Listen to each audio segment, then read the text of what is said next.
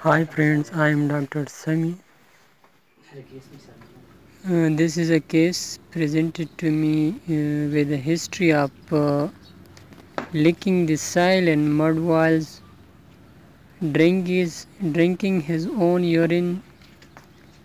The cow is very weak and emaciated, you see. Uh, cow having chronic diarrhea too.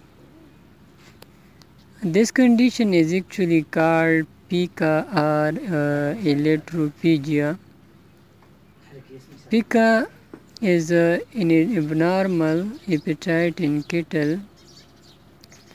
Cattle in this condition, uh, licking or uh, chewing or eating wood, uh, fences, trees, dirt, clay, bones, or any other inanimate object which is uh, usually not considered as a feedstuff.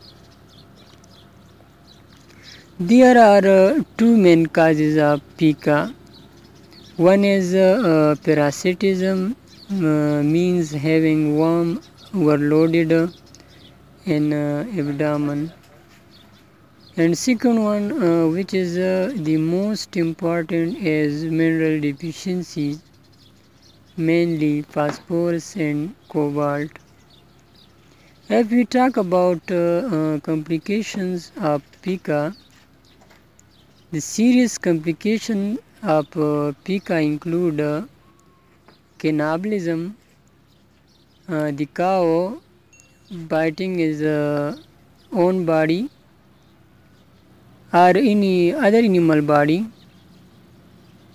and second if the animal ingests uh, any foreign body it uh, may lead to traumatic uh, reticuloperitonitis, pericarditis or uh, gastritis. The third uh, complication is uh, poisoning particularly uh, lead poisoning, botulinum toxin poison poisoning.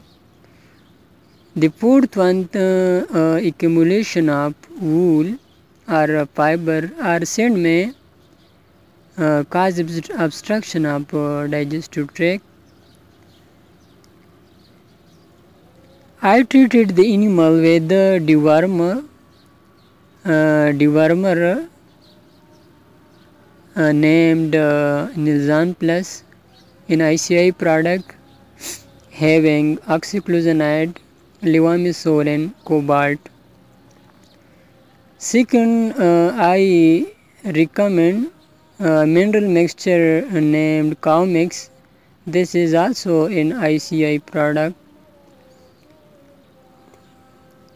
Injection Enflox 10 ml uh, intramuscular and uh, 10 ml per oral route per 3 days per diarrhea and uh, rumen yeast uh, to boost the rumen 20 gram per day per uh, 5 days